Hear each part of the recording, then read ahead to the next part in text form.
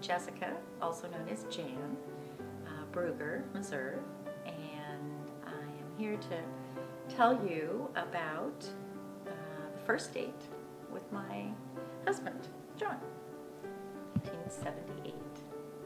But actually, I met John in, I think I met, this is terrible, I think I met him in 73. He was uh, younger than I. Um, I had seen him actually on an airplane before he came to campus. Um, I was flying back from visiting one of my friends on the East Coast, and he was flying for the first time to come as a freshman. Little did I know at the time that I would meet him again. It's just, the only reason I know I saw him on the plane was that I then, of course, met him later established our long-term relationship.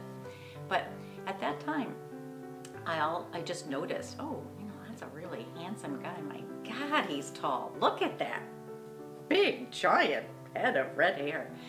Um, but what he remembers from that flight is that he'd never been to Iowa before. He had just kind of used the common application method and decided, I'm out of here, I'm not staying in Maine, I'm, where can I go? And so here he was going. As the plane landing, he tells the story that he looks out the window and he sees the tarmac approaching and approaching and approaching and there's like nothing anywhere on the horizon. Well, if you're from the Midwest, you are not concerned about that. You actually like that horizon. The pilot wasn't saying anything. He thought for sure they were crash landing.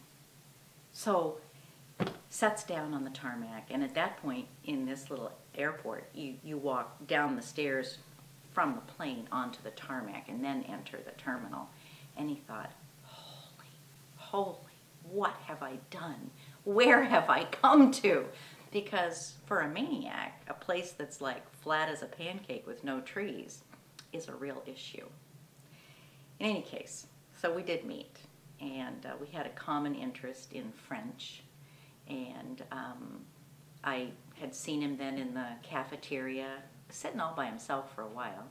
Um, but then sooner or later, we figured out how we could could meet, and uh, through a common friend of ours, and uh, and so he invited me on a date.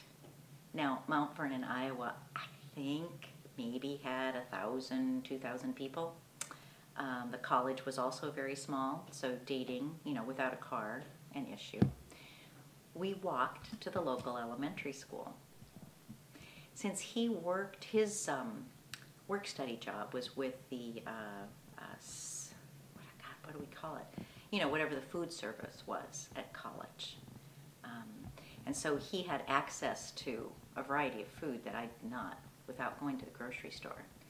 So in his pockets of his white painter pants, he had put two large navel oranges um, as a snack to have on our date. We walked to the elementary school and uh, went, uh, we were, you know, swinging on the swings at the elementary school. And then he peeled expertly the navel oranges and we enjoyed the navel oranges and talked and then we walked back to campus and that was our first date.